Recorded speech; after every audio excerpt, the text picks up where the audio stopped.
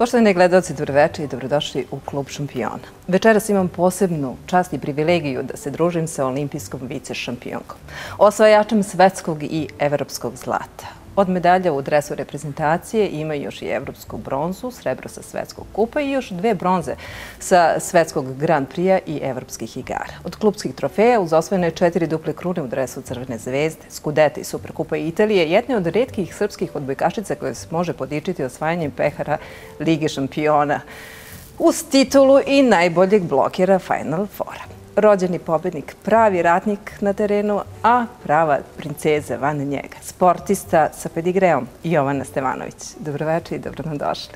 Dobroveče, bolje vas našli. Uvek nasmijana, dobro raspoložena, je li tako? Trudim se, da. Ovako, koliko truda, znoja, eh, odricanja u svakom smislu, zatim upala mišića, povreda, je trebalo dakle izdržati da bi se napravili svi ovi vrhunski rezultati? Pa trebalo je dosta godina. Prvo počela sam trenom sa deset godina. Sa deset, ili tako? Jest. Tu sam se zaljubila u taj sport. Kriva je moja majka. I, ovaj, I tako sam odlučila i kad sam videla da je to moj životni put, posvetila sam se maksimalno, maksimalno tome i hvala Bogu je do rezultata. A ko je to bio trenutak eh, kada ste shvatili da je to to, da je to vaš životni put, kao što ste rekli? Da, taj trenutak shvatila sam kada sam tek krenula da igram. To je možda bilo sa 11-12 godina.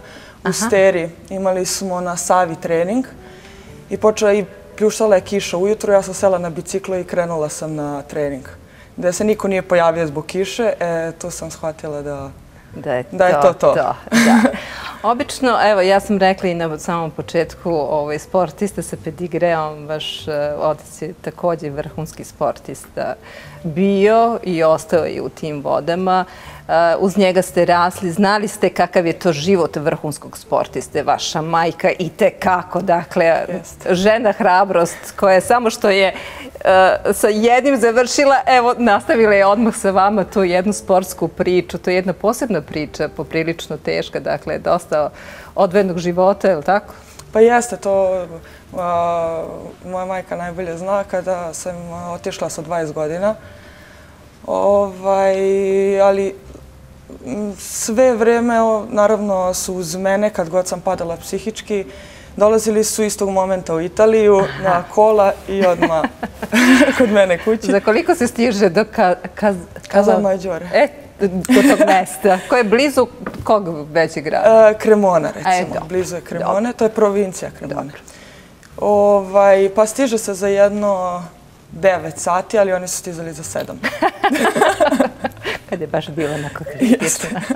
Dobro. Uh, uh, moramo još reći, dakle, još malčice da se vratimo, zato što sam čitala pripremajući se za naše ovaj, druženje, dosta članaka sam primetila u kome kaže, e, tate, partizanovac, a one ovaj, u crvenoj zvezdi. Moramo da objasnimo, dakle, u vreme kada ste vi počinjali da se bavite odbojkom, da nije postao ženski odbojkaški klub Partizan. Dakle, pre svega to da razjasnimo, je li tako? A kao drugo što je zvezda u tom trenutku bila i tekako vrhunski klub, zar ne? Jeste, jeste. Jedan od vodećih.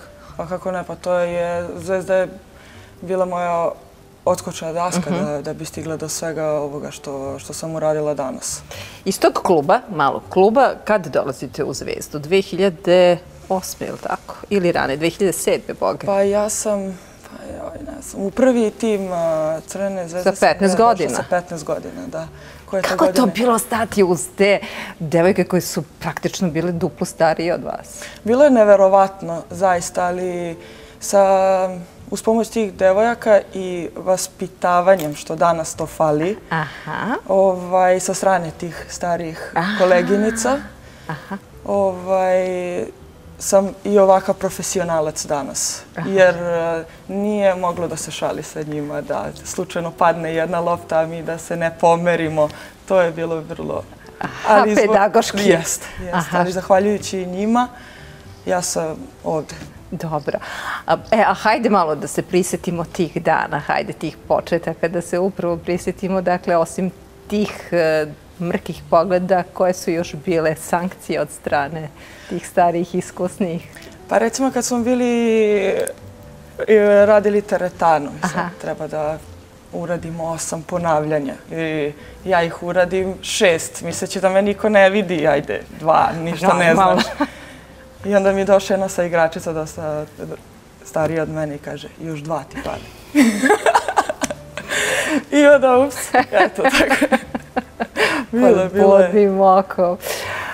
To iskustvo, dakle, pustili su vas i sa 15 godina da, da ovako zakoračite na teren. Nije to bila neka minutaža, ali, boga mi, lepo vatreno krštenje, je li tako? Jest. Kako se sećate te prve utakmice?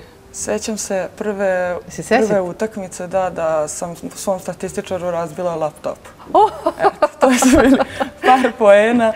Neki blok je bio nešto, ali sećam se toga. A to bilo slučajno ili je? Ne, ne, slučajno, naravno. naravno. Dobro, sljedeća sezona je bila malo veća minutaža, je li tako? Jest. I? Jest svaka, svaka naredna je bila dupla kruna. Da, e, onda od 2010. su počele da se ređuju duple krune sa povećanim brojem i utakmica, samim tim su i poeni rasli, tako? I onda ste praktično tu pokazali ono što znate, koliko znate, koliko vredite. Jest, sve je došlo u svom momentu, pravom trenutku. Nekako paralelno sa tom 2009. 10. ulaziti u juniorsku, ako se ne veram, reprezentaciju. Bila sam i u kadetskoj i u juniorskoj. Da, mhm, to mhm. su, mogu reći, jedna zlatna generacija. Jer, jer su to sadašnje naslednice? Jest, većinom. To od prilike? Jest. Zato što to je, bili smo na Tajlandu na svetskom prvenstvu i niko se nije nadao da ćemo biti druge Znači, izgubili smo od Brazila, nažalost, u, u finalu, ali jednostavno tu borbenost koju smo mi imali i radost i ceo suči štav koji je tad uh, radio sa nama, jednostavno tako smo se podigli do, do zvezda. A, sa juniorskom reprezentacijom osvete a, dve srebrne medalje na evropskim Jest. prvenstvima, je li tako? I tu sa svetsko prvenstvo i to je praktično najavilo jednu novu generaciju. Ono što mene interesuje ovako, to je bila 2009. godina. Kada su naši momci, dakle, odbojkaška reprezentacija Jugoslavije kada je harala, to je bilo vreme kada ste baš poprilično bili mali. Što je to vas onako inspirisalo, zaintrigiralo? Da li ste možda znali za, za tu ovaj, generaciju uh, braće Grbić, ne znam, Batez, da ih sad ne nabrajam, kasnije je došao Ivan Miljković. Dakle, da li ste znali za njih, pa su vam oni bili neka zvezda vodilja ili šta? Naravno, znala sam za, za sve njih, ali nisam toliko Aha. pratila Aha. privatno i, i, i ostalo. Naravno, u tim godinama je i Jovana Brakočević bila jedna Jest. od vodećih. Ivana Đerisilo, Anja Spasojević i ostalo, ali kažem, jednostavno inspirisalo me prvi ulazak u salu. Pre toga nisam nešto bila zaljubljenik, recimo. Ja volim teren da igram i da se igram. Aha, a, da se igrate. E, to je možda ovako ključ uspeha. Da. Je li tako? Jeste. A tokom odrastanja tate je često bio van kuće. Koliko je vama to smetalo i koliko ste se vi plašili tog trenutka da ćete i vi jednog dana da, da budete ta koje neće biti kod kuće tako dugo? Pa imala sam tu sreću da da od, od malih nogu uh, mama me je spremala da jednog dana Aha. da ću da, da, znači, da odem. Jeste. Mama je ključ uspeha. Mama je ključ uspeh, znala sam ja. I onda mi nije to toliko teško palo, taj, taj odlazak. Naravno, kad sam otišla, prve godine, to su bili dva sata razgovori na telefonu i tako to. Iz, iz tog razloga nisam osjetila. Ali dobro, ali vi ste i pre toga, dakle, odlazak recimo na pripremi sa reprezentacijom također su uh, bile po, ne znam više... Tri mjeseca, da. Je li tako? Jeste, jeste. I to je neki bio također neki period ovaj... Priprema. Da. Da, da se ovdje... da se priprema, upravo to. E ovako, znači, u Zvezdi vi sa Zvezdom osvajate osam pehara, četiri uh, šampiona šampionske titule, četiri titule kupa, tako, i jedan trofej, odnosno cev vice šampion, a tako, tako, cev kupa. I onda vas ovaj, polako, ali sigurno, zaintrigirali su se italijani koji imaju zaista izvrsnu, je li tako, ligu. Jeste. I kako je došlo do tog transfera? Pa, bilo je vreme da se, da se nastavi moj put razvijanja profesionalno. Sa 21 godina. Sa 20, da. I, ovaj, I samo mi je stigao... Uh, je bila još neka ponuda? Jeste za RC Beču, mm -hmm. toga se sećam. I ovaj, naravno Italija, Italija. No, ba Bože. Lepa zemlja za život i ostalo. za žensku čeljade, pa normalno. Jeste. I, ovaj, i, to, i te godine 2013. 2013-2014. ja odlazim u Kazal Mađore. Tad se prvi put e, taj klub uopšte promoviše u A1 ligi. Imaju fantastične dresove. Roze. I roze. Imali i čik lepše. jeste, jeste, jeste. Stvarno je bilo fenomenalno. Tamo su me primili, druga, druga porodica mi je bila, od predsjednika preko njegove supruke do... Svi su tako funkcionisao klub. Svako je nekom bio na ili najbolji prijatelj, ili u rodu, ili... i onda je bilo to porodična takva atmosfera gde sam se ja uklopila fenomenalno i ostala pet godina. Da. Jezik ste znali ili ste tamo naučili? Ne, tamo sam naučila. Mhm. Da. Kako je ovo italijanski za... Pa lak je. Lak je ono da se, da se krene, da se ra, uh, razgovara. Posle kad se uđe u problematiku malo je teži, ali je lako. Mogu Aha, da li je bilo nekog tamo od naših uh, odbojkašice ili ste bili sami onako? Nije, nisam bila sama. Imala sam Tina Li, uh, Tinu Lipicar, ona je Slovenka. Slovenka, aha. Jeste, i bila je kapitan ekipe i ona se postavila prema meni kao prema svom detetu. Bila je starija, da. I za sve što mi je trebalo uvek je bila tu i dan danas se sećam njenih saveta ovaj, i što se terena tiče i van, tako da mi je dosta, dosta pomogla. Kakvi su italijani ovako kao navijači, da krenemo od toga? Divni su, takvu atmosferu koju oni prave na svakoj utakmici, svaki klub. Kazel Mađori je mali gradić od 15.000 stanovnika. Koliko su oni osjećali vaš klub? Pa, oni uvek tako e, klubove prave po manjim sredinama, mhm. baš iz tog mhm. razloga. Da bi se posvetili ma? Posvetili su, posvete se e, samo tom klubu i to je to. Mi smo prvo igrali u jednoj sali zove e, koja je Vije dana. Mhm.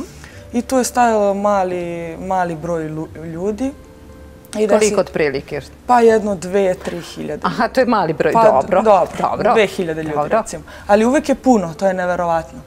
I pao je jednom sneg i srušio tu salu, srušio krov. Mi smo posle toga prešli u Kremonu da igramo i dolazili su po 5000 ljudi i ta atmosfera i to sve što su oni nama priređivali dalo nam je snagu da osvojimo skudeto. Mhm. I to, je, I to mi zovemo jedno čudo, da se vamo srušila sala i otišli smo tamo da uzmemo skudeto. Kada ste, kada ste dobili uh, kapitensku traku? Dobila sam je prošle godine, pretprošle godine. Pretprošle godine na, na ono, posle četiri godine. A, pa to pitam, znači, da, da. ipak je moralo to da se... Jeste. Skudeto osvajate... 2015. 2015. to znači posle dve godine, ali tako? E, 2014. Da, 2015. Dobro. A Superkup Italije? Odmah posle odmah toga. posle toga. I 2016. Ligu šampiona. Liga šampiona. Da li je Iko verovao da će da ćete osvojiti Ligu šampiona? Odnosno, ko je verovao? Mi kada, Osim vas. Osim vas. mi kada smo videli grupu našu u mhm. Ligi šampiona, mi smo se samo prekrstili. Jer su stvarno bile najjača grupa u, u svim, mhm, od mhm. svih ostalih. I ovaj, da bi se na kraju, ili je bila to tako grupa satkana od ljubavi, ne znam kako da, od atmosfere koja je bila briljantna. Ne, to se, to se ta desilo i mislim nikad više. Tako, takav skup ljudi, igračica i persona. Pričamo o pomiju, je li tako? O pomiju, jeste. I, ovaj, I onda smo rekli sve, kod nas je sve moguće. Aha. Završavamo kao prvi u grupi, u toj paklenoj grupi. Završavamo kao prvi. Pobedili smo u Istanbulu Ezadzibaši, probedili smo i Čemik iz, iz, iz Poljske. I tako neke iznenađujuće pobede smo imali. I kad smo shvatili da je naš predsjednik uh, kupio taj Final Four koji se igra u Monte Chiariju, pošto je i dobio to pravo, jer smo završili prvi. Sedam dana pred Final Four ja nisam spavala uopšte. Stvarno? Uopšte, jer je to bio takav adrenalin. I ovaj... Pa šta ste radili? Pa sanjam, od, sanjam pokret, onako odskakujem i budim se. sanjam utakmicu, bukvalno, da. I ovaj... I tako neispavana vi krećete pa u finalu. Pa nisam se uopšte ni osjećala neispavana. To je neki adrenalin koji treba da se doživi. Aha. To ne mogu da objasnim. I onda dolazi Final Four i tu se dešava čudo. Gde sam ja morala da odgledam utakmicu ponovo da im šta se dešavala, pošto je to bio totalni... Van sebe smo bili sve ali ono što je posle bilo van sebe, to je bio cijelo grad, cijela oblast, ili tako? Kako je izgledalo to slavlje? Jeste, pa svi smo bili, kad smo stigli u Kremonu, svi navijači su bili tu, slavilo se, dizao se pehar, glupirali smo se i tako bilo je, bilo je divno. Oni spevali smo zajedno, bili su i oni van sebe. Aha. Stvarno smo digli Kazal Mađore, jedan gradić gde sad zna ceo svet i cela Evropa. Sve je bilo u ružičasto? Jeste, sve je bilo u ružičasto, sve. Ima, imala sam, to jest imam i dalje tamo, pošto sa igračice me zezaju, da sam gradonačelnik tog kluba, to, tog grada, jer na ogrom, kad uh, se ulezi u Kazal Mađore, Dobro. ima ogroman mural Dobro. moj na, na zidu. Joj, divno. Da, da, divni su. Divno, Tako bravo. Da, Pa nije ni čudo, zato što ono koliko ovaj znamo, dakle, da sve ovome dodamo da ste rekorderka serije A po broju blokova u jednoj sezoni i prva koja je premašila granicu od 100 blokova u jednom, je li tako, prvenstvu? Jeste. Od 107. Jeste. Znali su oni koga da izaberu? Kakav je život, kako je živeti u, u, u, u Italiji, kako je, kako je bio, kako se provodilo slobodno vreme? Slobodno vreme sam provodila putovaći, obilazeći da? Da, razno razne oblasti i zaista divna je, divna je zemlja. Aha. I od planine do, do mora, sve sam, ono, koliko sam uspela, uh, videla. Shopping? Pa mislim, pa, da, pa dve dame, ja jedna čekala da mi žensko dođe da pričam. neverovatno. Gde? Cene savršene. Tako da... Idealna kombinacija. Idealna kombinacija, zaista. Da li je bilo udvarača? pa normalno. Jeste. Italijani su, pretpostavljam, ovaj, onako poprilično otvoreni, je li tako? Pa jesu. Yes. Posljednje, ono, posljednje vreme i ne... Samo što im visina nešto fali, ali dobro. Mnogo fali. Dobro, nadam se da ovo neće biti ovaj, prevedeno na italijanski. Pa dobro, i oni se zezaju kolika žena. Jel tako pa, kažu? Pa dobro, ima li anegdote vezanih za visinu i ima Pa ne, pa eh. svako ko nas vidi, nas odboj kaže koliko ste visoki. Uuu, baš se osjećam nisko, to su glavno rečenice koje se izgovaraju. Dobro. Evo ovako, 2015. dakle, to su neke 2015. 2016. to su godine koje su vas nekako onako izbacile, tako, i što se reprezentacije tiče i što se tiče ovako ovih klubskih uspeha. 2015. je bio jedan onako signal da će vaša generacija, odnosno reprezentacija, ovaj, da napravi pravi bum. Je li tako? Jeste, jeste. 2015. dolazim u reprezentaciju. I seniorsku, da kažemo. Seniorsku reprezentaciju i, ovaj, i odlazim na svoje prvo takmičenje. I igram taj svetski kup i kvalifikujemo se za olimpijske igre. To je bio ono, jedan od, od najvećih uspeha te godine što se mm -hmm. reprezentacije tiče. I tad se desilo i treće, treće mesto na Evropskom, na Evropskom prvenstvu. tako je. Jeste. I onda smo svi živeli za te olimpijske igre. odlazite u jednu božanstvenu zemlju. Jeste prvi, niste bili, e, ili ste ranije već bili? I ranije, reprezentacija Srbije bila je sve vremena. Da, to ste rekli, da, da. I London i... E, ovaj, ali prvi put dolazi u finale 2016. Mhm. godine. I tu utakmicu protiv Amerike, mislim da ni Srbija neće nikad zaboraviti u polufinalu, koje su mogu ubili peti set 9-13 ili 9-13, tako nešto. I pobeđujemo set gotovo izgubljen.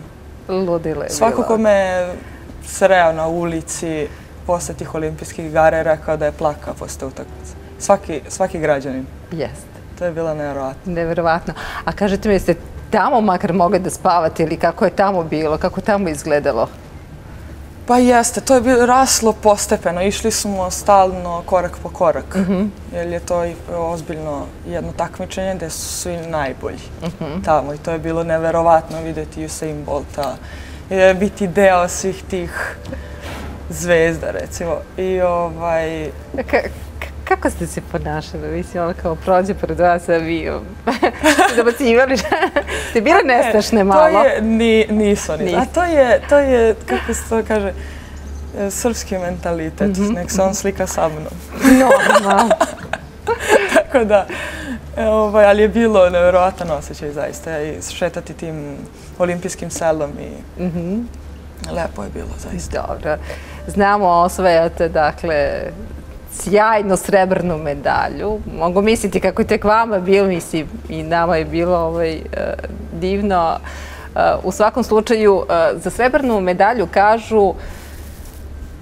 Hajde vi mi kažete, kakav je osjećaj? O, dobro. Sve, sve mi je vaš izraz Znači, i, i, i vi se slažete sa tim što, ovaj, što svi sportisti kažu za srebrnu medalju. U svakom slučaju, u tom trenutku kineski su bile, tako, da. jače, ali, bože moj, uh, 2017. godina Evropsko prvenstvo, je li da. tako? Ste od toga krenuli? E, pa je bila je ona nacionalna liga, Aha. ili... Mm -hmm. Tu smo treće mesto. Tako je. Jeste, treće mesto i to baš protiv Kine. Mm -hmm. I tu smo ih, tu smo ih savladali. Tu s njim se ovaj, revanširale, da. Revanširale, da. ovaj, I onda posle toga dolazi Evropsko prvenstvo. U Azerbejdžanu. U Azerbejdžanu i osvojamo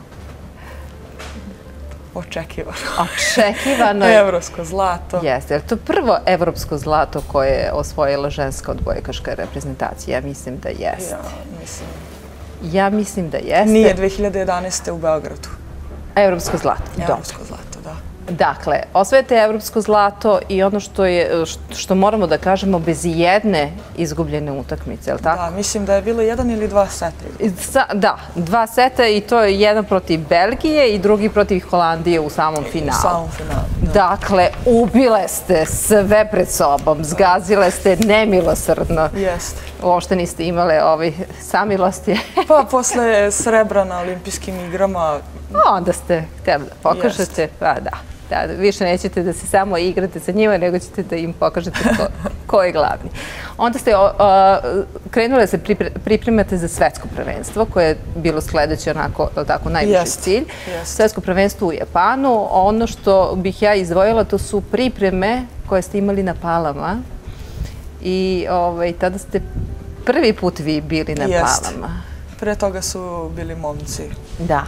Kažete mi, ovaj, Kako je bilo ovaj, tamo? To, je, to su najlepše pripreme koje sam ja odradila u životu.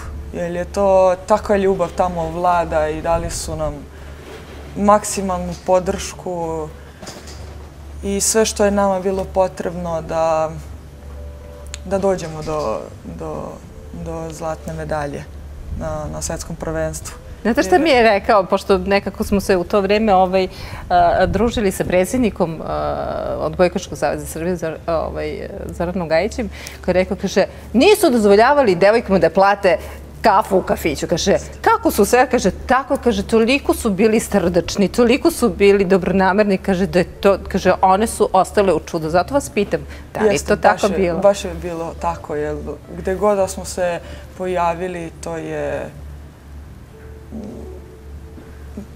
prosto su nas, ne znam kako da ovo objasni, toliko su nas voljeli da to ni ne znam, ne, ne može se, ne može se objasniti. I tako, puni, napunjeni ljubavlju, otišli ste u daleki Japan i tamo ste, jel tako, pokorili, boga mi, Boga mi, u stvari, tamo ste se namučili. Tamo ste imali, koliko ste odigrali utakmice? 12, 13? U prvoj grupi, je li tako, pet utakmica? Svih pet ste dobili. Druga, onda se oformila druga grupa, gde ste polovično, dve ste dobili, dve ste izgubili i onda još jedna grupa. Znači, to je bilo već devet utakmica. To je baš bilo naporno. Je li to po prvi put tako ili je tako uobičajen sistem za svetska prvenstva? Pa mislim da je bio prvi put tako. Ne znam, slagaću se, ne znam, zaista ne znam. Ali u svakom slučaju je bilo bilo je baš naporno. Baš naporno, da, da. Tako I to sve posle, u stvari je došlo posle vaših klubskih, je li tako? Da, i bila je tu i opet nacionalna liga pre toga, koja se igrala šest nedelja. I ovaj, ali između toga smo imali odmor. Tako mhm. da smo imali vremena malo da se oporavimo.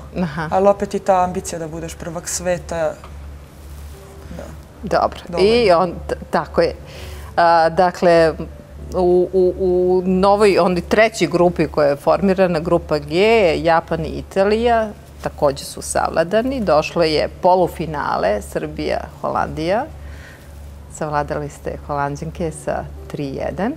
I u finalu Srbija, Italija. Čuvena utakmica. Opet za infarkt. Da, da, da. Pa bilo je Bilo je, bilo je lepo, bilo je pravo finale. Bilo je lepo za gledati. Jeste, jeste. Bilo je zaista... Uh, bili smo ponosni i ono što je ostalo, to što smo mi bili ponosni, što smo mi bili ostali bez teksta, što smo ovde zaista slavili, ali ono što je ostalo za vijek i vijekov, to je čuveni italijanski književnik Mauricio Monte koji je napisao jednu Jeste čuli za tu? Jesam, jesam i pročala sam. E, i šta kažete? Pa... On je sve rekao, je li tako? Jeste, jeste. On je sve objasnio. Sve je objasnio. Gde je Jovana u ovom trenutku? Da li je što se klubske karijere tiče? Pa ja sam od prošle godine u Skandićiju, to je klub u Firenci. Normalno, pa ostajemo tu. Ne mrdemo dalje. I ovaj, produžila sam još jednu godinu ugovor sa njima. Kakve su ambicije? Ambicije su kao i obično da se osvoji sve. Sve? Da. Kakve su šanse? Velike, velike. Jel se klub pojačao? E pa to, za vas znam da ćete dati svoj maksimum nego za ostatak ekipe. Da, klub se, klub se pojačao i i zaista ima, ja, ima dosta velike ambicije i klub, što je meni vrlo bitno, zbog toga sam i, i ostala. Pa ćemo da probamo. Da, ono što je pred vama, to je svakako 2020. godina. Ova emisija koja se snima i puštaće se van vremenski. Mi moramo u ovom trenutku, s obzirom da je pred vama tek karijera, da, da ipak kažemo koja je godina u pitanju, jer ćemo se, sigurna sam i 2020. posle olimpijskih igara, ponovo družiti ovde i, i pričati o tim pričama vezanim, dakle, za neke nove uspehe, je li vaši? Vaši, dogovorimo. Hvala puno. Hvala za svaku medalju, za svaku suzu radosnicu koju ste nam priuštili. Vi ste ponos, ja sam izuzetno, kao što sam rekla na samom početku, izuzetno sam i ponosna i drago mi je što smo se i večera združili i što imam priliku, evo i što i naši gledalci imaju priliku da vas, imali su priliku da vas malo bolje i pobliže upoznaju. Sljedeći put ćemo onako malo opuštenije pričati vaš. Može, dogovoreno. Hvala puno. Hvala. A hvala i vama što ste se i večera družili sa nama do sljedeće nedelje i sljedeće šampionske priče. Svako dobro.